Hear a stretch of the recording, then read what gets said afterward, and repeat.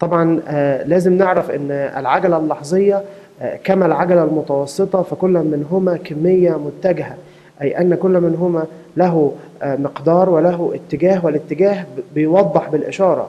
العجلة ممكن تكون positive وممكن تكون negative لكن هنقف هنا مع الاتجاه شوية لأن الإشارة هنا ليها معنى وليها معنى قوي عندنا في الديناميكا. فنحب نقول إن العجلة إذا كانت بالسالب ففي هذه الحالة بن- بنسميها عندنا آه، decelerating أو retarding acceleration. decelerating أو retarding acceleration اللي هي بالعربي بيقولوا عليها عجلة تقصيرية أو بيقولوا عليها عجلة تناقصية. أما إذا كانت الإشارة بالموجب أو كانت الإشارة بالبوزيتيف فدي بنقول عليها عجلة تزايدية أو بنقول عليها acceleration عادي آه، آه، عجلة آه، تزايدية.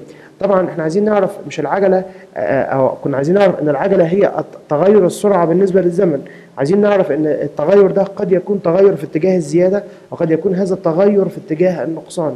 يعني مثلا آه، عندنا العربية ممكن تغير سرعتها بالطريقة دي. صفر 10 20 30 and so on يبقى بتغير نفسها ولكن في اتجاه الزيادة.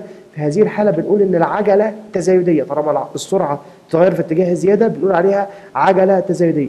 لكن آه، ممكن السيارة أو العربية تغير سرعتها آه، بالراجع تغير سرعتها 100 90 80 70 and so on. وبهذه وفي هذه الحالة السرعة بتقل وفي هذه الحالة بنقول إن العجلة بتكون عجلة تناقصية. إذا إذا كانت السرعة في اتجاه الزيادة إذا كانت السرعة بتزيد فعلى طول بنقول إن العجلة تزايدية، أما إذا كانت السرعة في اتجاه النقصان فبنقول العجلة تناقصية، وطبعا آه، من الآخر بنقول كده إن إذا كانت العجلة آه، في اتجاه السرعة فبتكون موجب، أما إذا كانت السرعة عكس اتجاه العجلة فبتكون العجلة فبتكون العجلة بالسالب. وطبعا في آه، كلمة خطيرة لازم نعرفها ألا وهي إذا كانت السرعة ثابتة لو ال velocity كانت constant على طول فال acceleration لا هتكون تزايدية ولا هتكون تناقصية. العجلة لن تكون تزايدية ولن تكون تناقصية وإنما إذا كانت السرعة ثابتة فإن العجلة تكون بصفر. طبعا لأنه إذا كانت السرعة ثابتة وبالتالي فإن دلتا في التغير في السرعة هيكون بكام؟ هيكون بزيرو. ما هي سرعة ثابتة ما بتتغيرش يعني. فعلى طول يبقى التغير في السرعة هيكون بكام؟ بصفر. وبالتالي العجلة بتساوي التغير في السرعة على الزمن. إذا كان التغير بصفر يبقى كمان العجلة بكام؟ صفر يبقى إحنا ناخد الكلمة دي عندنا على جنب ونقول إذا كانت السرعة ثابتة فالعجلة بكام؟ فالعجلة بتكون بصفر.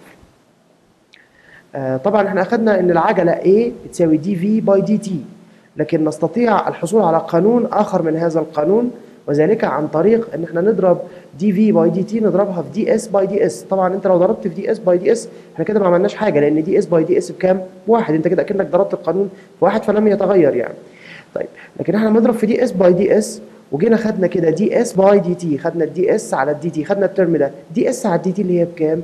ds على ال dt اللي هي ب v ويتفضل عندنا dv على ال ds نحصل على قانون جديد أو فورمولا جديدة بتقول إن العجلة A بتساوي v dv by ds العجلة A بتساوي v dv by ds ويصبح دلوقتي عندنا قانونين إن في قانون بيقول العجلة بتساوي dv by dt وقانون تاني بيقول إن العجلة بتساوي v dv by ds القانون الأول إن العجلة بتساوي dv by dt ده نسمه إذا كان عندنا function of time إذا كان في مسألة فيها دالة في الزمن. أستطيع استخدام هذا التفاضل لأني هقدر إذا كان عندي دالة في الزمن هقدر أفاضل السرعة بالنسبة لمين؟ للزمن.